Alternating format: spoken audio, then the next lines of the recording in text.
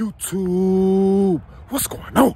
Witty P coming back with another one. Let's get it. You know I gotta keep the fire coming. Today I have a great one. Today I have a great one. Lock in. Today I'm gonna talk about how class shapes behavior in people.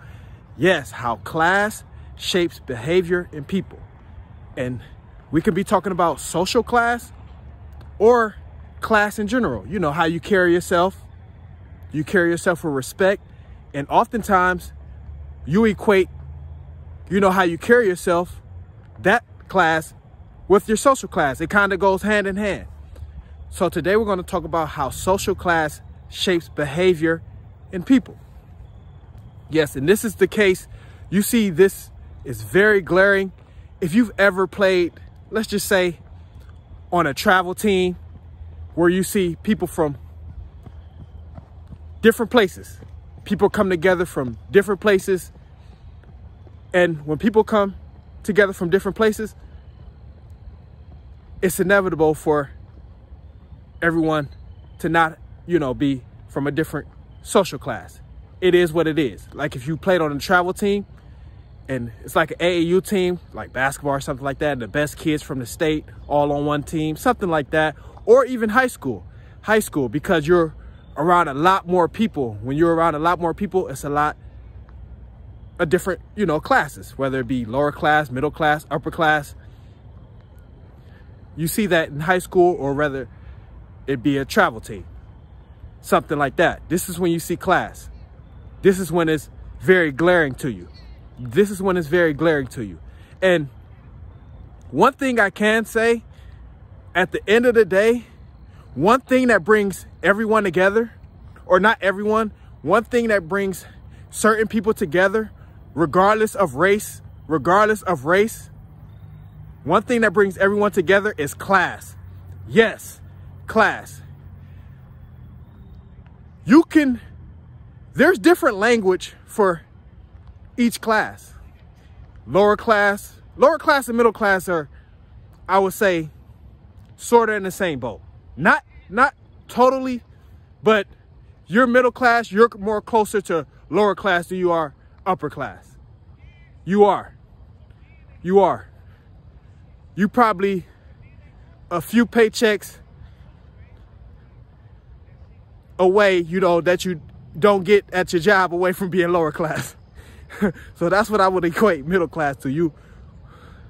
You a few mistakes away from being lower class, you know.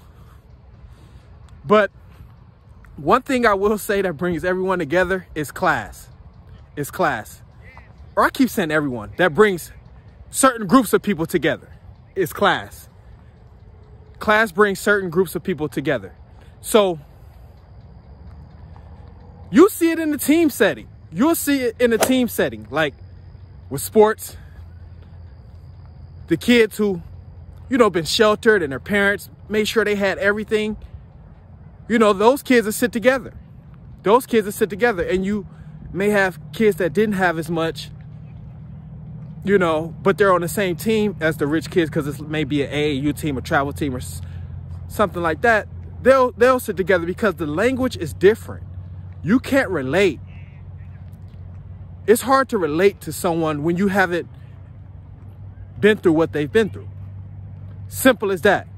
Simple as that. When you're lower class, you know the struggle, you know the grind, you know what you, you know, had to do to get it out the slums, all that type of shit. And when you upper class, shit, all you know is, you know, your parents picking you up, you know, BMW, you know, Mercedes Benz, Lexus, shit like that. When you upper class. So this shapes behavior though. Class shapes behavior. I'll tell you this. I'll tell you this. You do have some people in lower class that just have class. They just carry themselves in a respectful way. They're clean, you know, and they just carry themselves as the, if they were upper class. You have some ex exceptions. You do. But more times than not, you can tell the difference when someone's lower class or upper class just by, I'll just say, their lockers. Their lockers. In high school, you have a lower class guy, upper class guy. The lower class guy his locker's gonna be just a little more junky. It is. He's gonna throw his jacket in there. It's gonna be in there every which way. You know, he's not gonna have as much structure, you know, in his locker as the, the upper class guy. Because you know why that upper class guy is gonna have a little more neatness and have a little more structure? Because that upper class guy, when he walk in his house, he gotta take his shoes off. Yeah, we about to get real. Now, that upper class guy, his, his parents don't allow him to wear shoes in the house. So this shapes behavior. This, this adds a bouginess to you. That's why you equate upper class people as bougie. Because it's like, hey, take your shoes off at the door. We ain't playing that shit. We ain't playing that shit.